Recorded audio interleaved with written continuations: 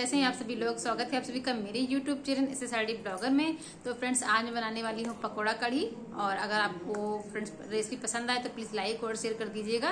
ठीक है? तो चलिए बनाना शुरू कर तो कढ़ी बनाने के लिए मैंने यहाँ पे उसी छाछ का यूज़ कर लिया, जो मैंने मलाई से निकाली थी। तो ये मैंने यहाँ पे लिया है, डेढ़ कटोरी बेसन है। तो इसमें डालेंगे थोड़ा सा कुटा हुआ मतलब मिर्च और थोड़ी सी हल, हल्दी डालेंगे पिसी हुई। और इसी के साथ डाल देंगे तो एक से दो चुटकी हींग। और यहाँ पे डालेंगे नमक। नमक हम अपने स्वाद के अनुसार डालेंगे।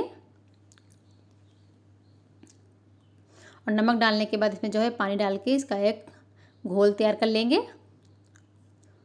तो जैसे बहुत लोगों की जो पकौड़ियाँ हैं, वो फूलती नहीं है तो उसके लिए आप मतलब क्या करेंगे, जब ये बेसन हमारा अच्छे से मतलब फेंट लेंगे हम तो फेंटने के बाद इसमें एक से दो चुटकी डाल देंगे, मीठा सोडा।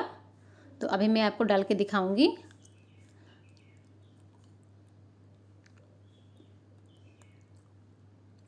तो ये देखिए, बेसन हमारा अच्छे से फेंट लिया है हमने।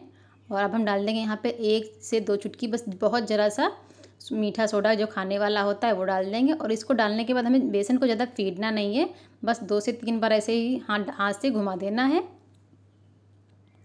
और ये देखिए बस बेसन हमारा फिट के तैयार हो चुका है। अब हम इसकी बना लेंगे पकौड़ियाँ।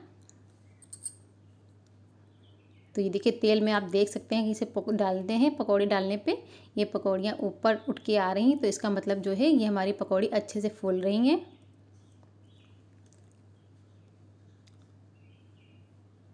तो इसी तरीके से हम सारे पकौड़े बना के तैयार कर लेंगे। और पकौड़े बनाने के बाद जो ये एक्स्ट्रा तेल कढ़ाई में मतलब है, क्योंकि इतना तेल इतना तेल तो कढ़ाई में कढ़ी में पड़ेगा नहीं तो जो एक्स्ट्रा तेल है वो निकाल लेंगे अलग बर्तन में। तो तेल निकालने के बाद, ये देखिए मेरे, मैंने निकाले मसाले तो मसाले में मैंने लिया है एक चम्मच हल्दी पाउडर, आधा चम्मच मिर्च का पाउडर और एक से डेढ़ चम्मच ये धनिया पाउडर धनिया थोड़ी सी ज़्यादा ही डालेंगे।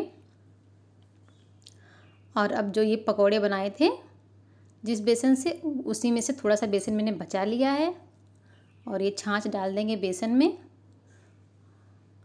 आप छाछ या दही कुछ भी डालें तो उसको छान ज़रूर लें एक बार, क्योंकि छानने से जो इसमें गुठलियाँ जैसी होती है ना तो वो ख़त्म हो जाती हैं। और अगर आप छानना, छन्नी छन्नी से नहीं छानना चाह, चाहते हैं तो आप मिक्सर जार में डाल के एक बार घुमा दीजिए तो इसमें जो गुठलियाँ जैसी हैं वो ख़त्म हो जाएँगी।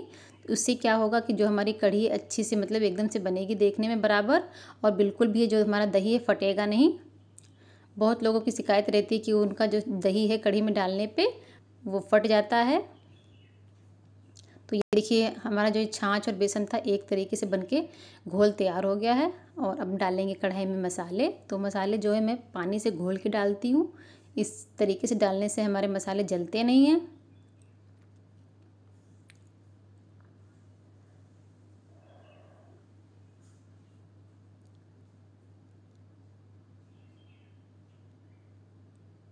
तो ये मसाला हम अच्छे से भून लेंगे और मसाला जब हमारा अच्छे से भुन जाएगा तो हम इसमें जो बेसन और दही वाला जो घोल बना के रखा है, वो डाल देंगे।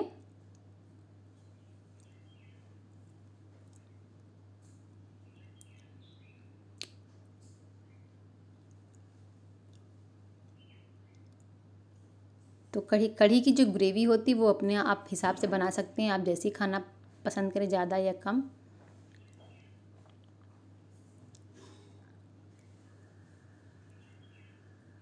तो मैं यहाँ पे चार लोगों के हिसाब से बना रही हूँ।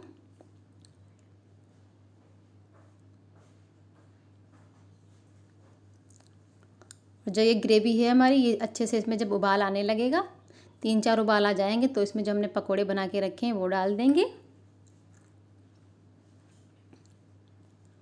नमक हम इसमें यहाँ पे थोड़ा सा ही डालेंगे, क्योंकि पकोड़े में भी नमक है, और जो बेसन बचाया था ना, उसमें भी नमक था तो नमक थोड़ा सा ही डालेंगे। तो ये देखिए हमारे पकौड़े और इनको हम थोड़ा सा हाथों से इस तरीके से दबा दबा के डालेंगे तो ग्रेवी में मतलब डालने से अच्छे से फूल जाएँगे हमारे।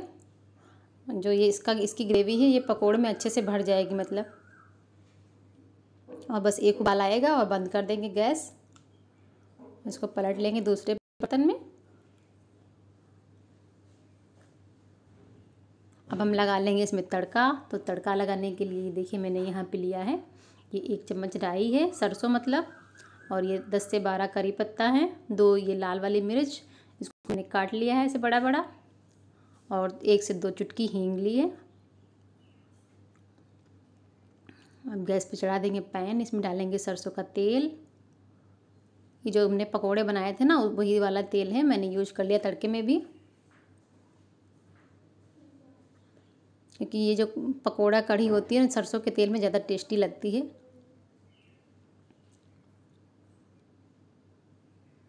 और तड़का हम अपना बहुत ध्यान से डालेंगे क्योंकि जो सरसों है ना, वो चटकती है बहुत ज़्यादा तो बहुत ही ध्यान से, आराम से डालेंगे। और डालने के बाद इस पर प्लेट रख देंगे तो जो मतलब जो हमारा तड़का चटकेगा ना तो वो ऊपर नहीं आएगा।